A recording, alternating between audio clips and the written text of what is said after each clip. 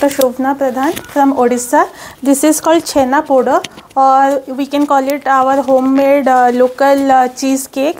It is made up of cottage cheese, some suji, uh, uh sugar and it is baked. So it is one of the comfort sweet dishes of our state. Thank you. Thank you.